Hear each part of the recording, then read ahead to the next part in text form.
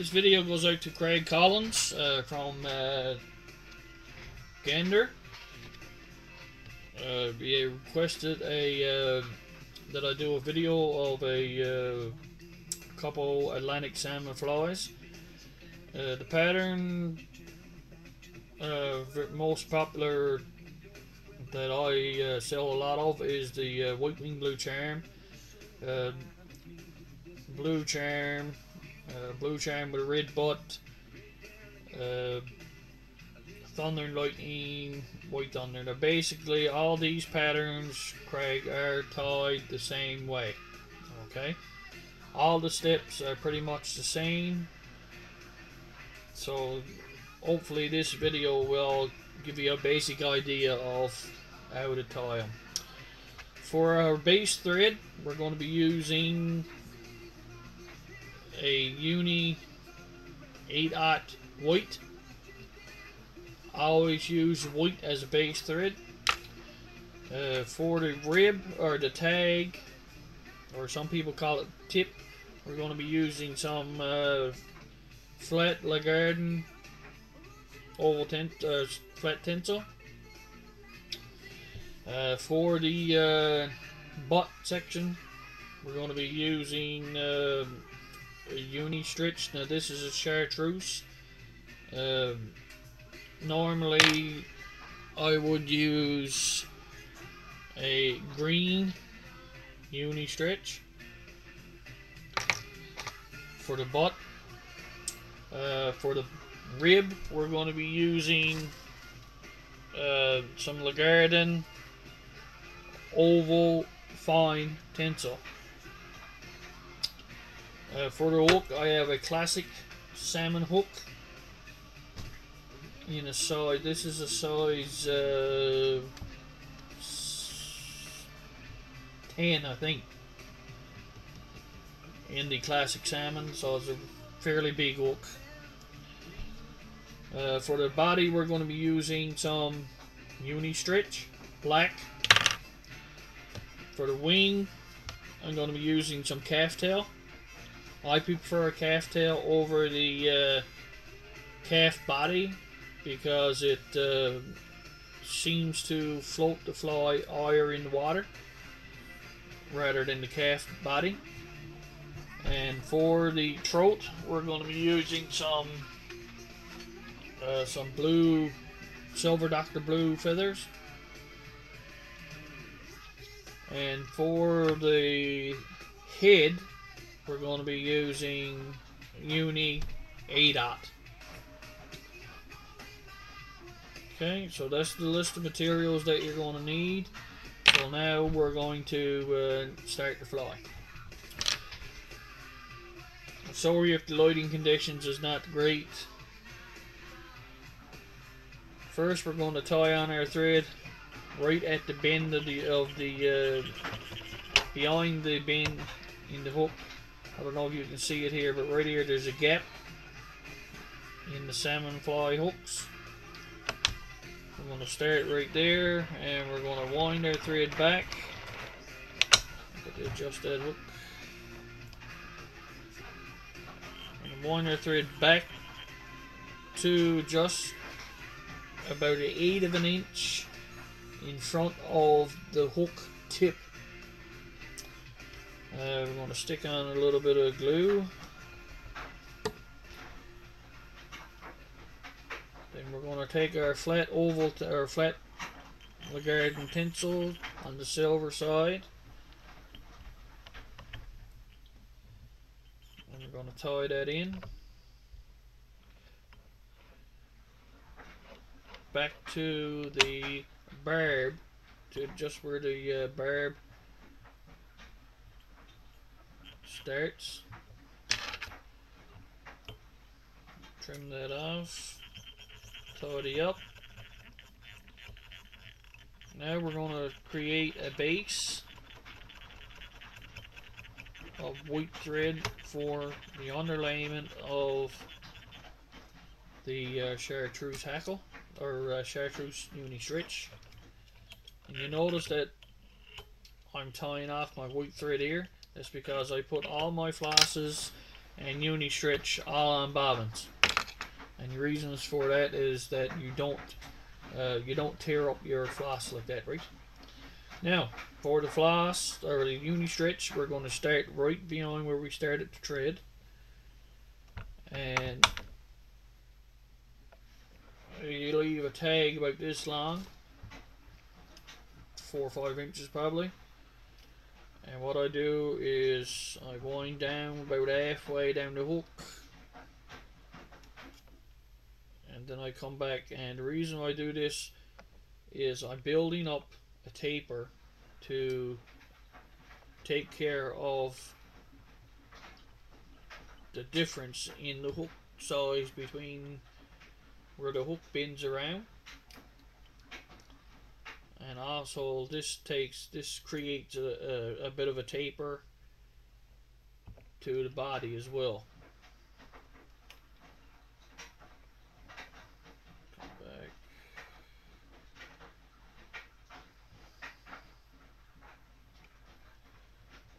As you can see I don't know if you can if the camera is picking this up. But now I've got fairly even taper there now the next step is to add a little bit of glue.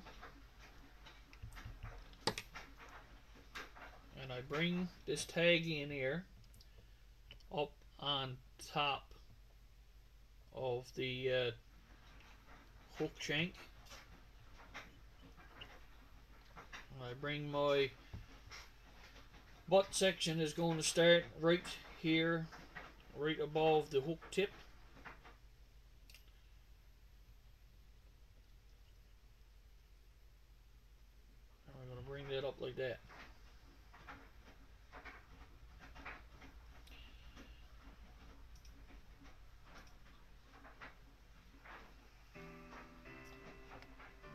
Okay, now we're going to tie on our white thread again.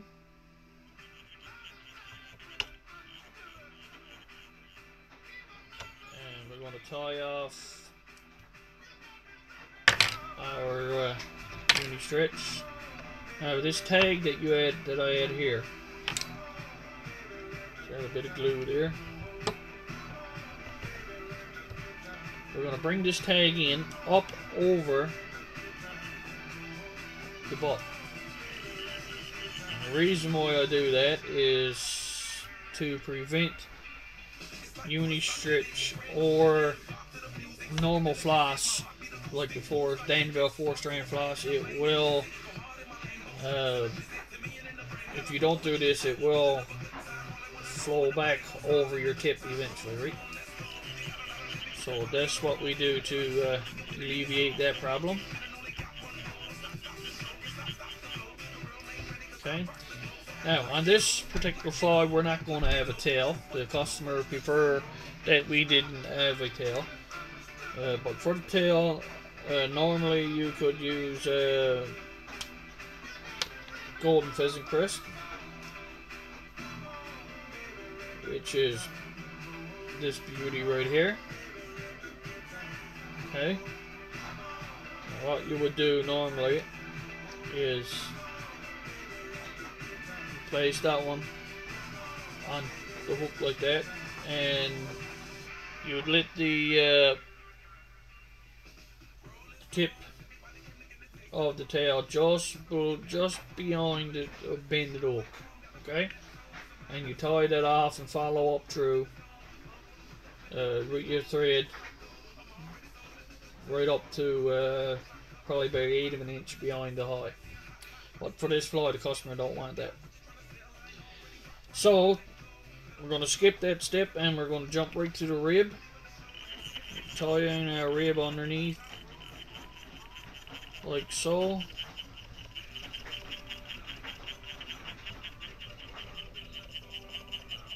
Now we're going to build up a little bit of the base right here. And we're going to tie off our white thread. Oops. Now we're going to switch to our body. We're going to do our body, which is going to be a uni stretch, black. We're going to tie that, and start start that right there. Give it a couple spins.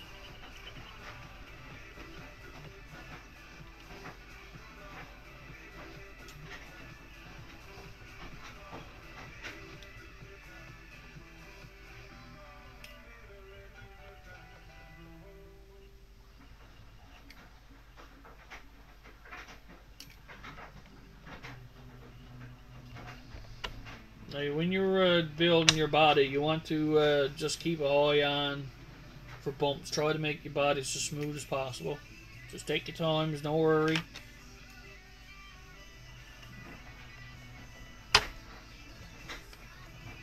And then we're going to tie off our uni stretch. We're going to grab our oval tinsel and we're going to give that a spin up the yoke.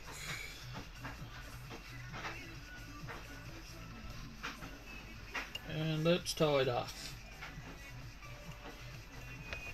Turn our rook over and now we're going to start with a grab our uh, blue feather.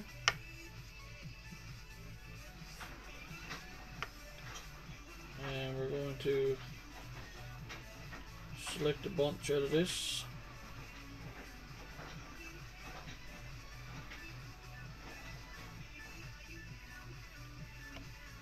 Measure, tie that in. Like so. Now we're going to get our uh, wing on the go here with some uh, calf tail. Normally you would stack this in your big stacker. Don't use your small one because the hair needs room to uh, move. And you just uh, straighten it out a bit.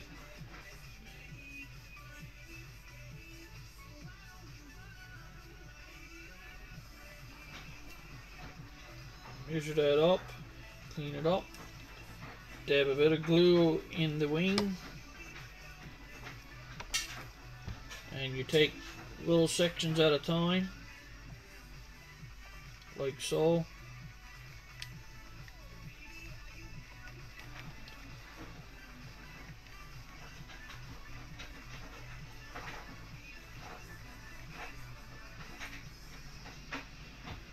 Build a nice wing. A nice head.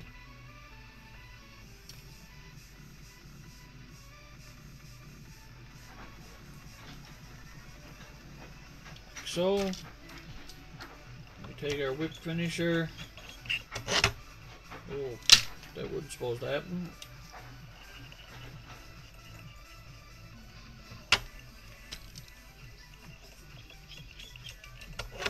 Four, uh, a couple four turn or five turn whip finishes, snip it off, and your fly is done. Now we're going to take our black head cement uh, I'll use uh, Wapsi lacquer. Okay, this is black.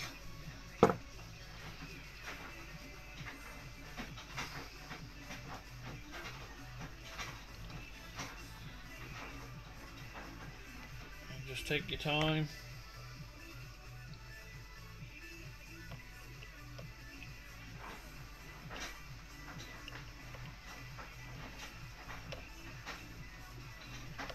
Like so. Okay, that's your white wing blue charm. Normally, like I said, normally there would be a tail, but he doesn't want a tail. Okay, I hope this helps you, Craig, and uh, good luck in fly time, and uh, hopefully I hear from you soon. Thank you.